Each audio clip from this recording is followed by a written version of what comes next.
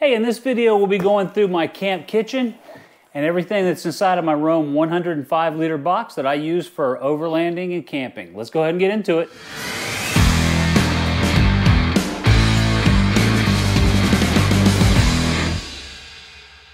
Hey everyone, welcome back to the channel. This is Robert with Sherburn Outdoors and today I, I'm talking about my camp kitchen. I got a few requests after we did our last trip and I kind of did a camp walk around few emails sent to me asking me, you know, what, what exactly is in all of these Roam 105 liter boxes. I do use a couple of them, but I use one specifically for my camp kitchen. You know what, I thought I'd just kind of walk you through it. Not too long ago, I took everything. I had these huge, uh, big tubs from Home Depot that weren't watertight or, or dust tight, and I had way too much camping gear. So I actually took everything and whittled it down, whittled my stove down, just took anything that I hadn't used in any of the previous five trips and just took it out uh, completely.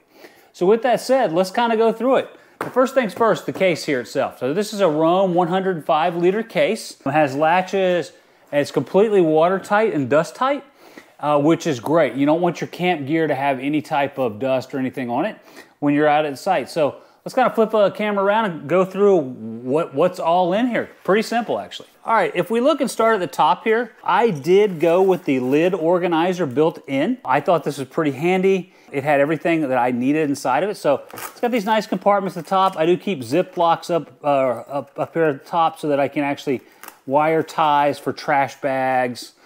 You know, keep some safety pins, some other type of collapsible stuff. You, you never know when you're gonna need these kind of things. Uh, dish scraper, just things that fit up here real easy. Other things that are inside here are spices. I went with this multi-spice system here, which is pretty good. Salt, everything's inside of here. And then for steaks, I do bring some stuff out in a Ziploc bag. Because you are on a space crunch here, I try to keep everything inside of here nice and simple. Same thing here as well. We've got our uh, hand warmers when we're out and about. We've been camping lately in teens. What else we got in here? We got a bunch of sponges, Go Dogs, we got some koozies. You know, when it's warm out, we do like to have some beer.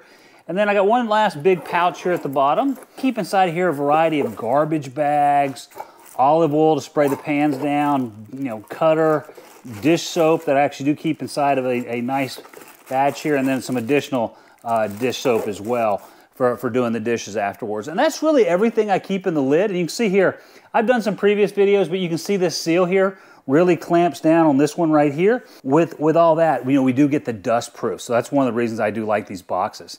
There's some things I don't like about these boxes. This lip here still drives me insane. Uh, that, it's, that it goes all the way to here on the underneath is just, is just way too much. So if we kind of go down to the bottom, you know, it's pretty simple what I keep in here. It's uh, I got a stove, paper towels. We'll just kind of walk through it. But I, I, do keep this nice little organizer that I, I, I, could put out on the tailgate when I'm at, at camp. And I keep inside here uh, disinfectant wipes, a couple propane bottles, a cutting board. I do have the Jetboil system here. I've done a couple videos on this.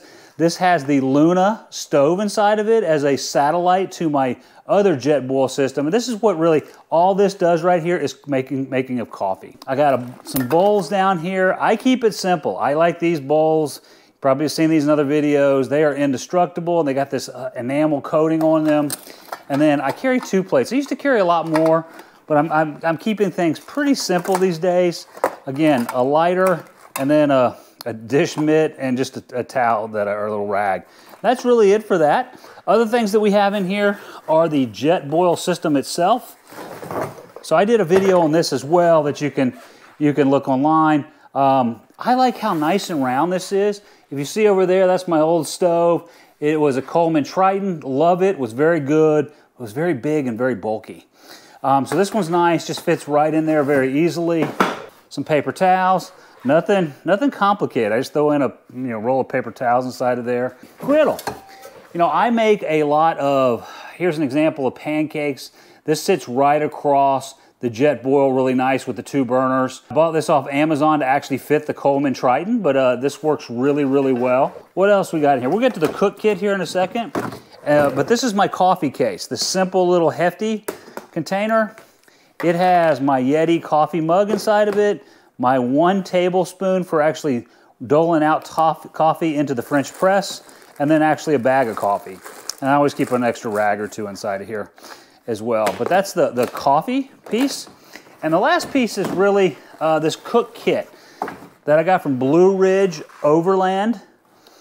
This thing is absolutely awesome. So this is Blue Ridge Overland gear.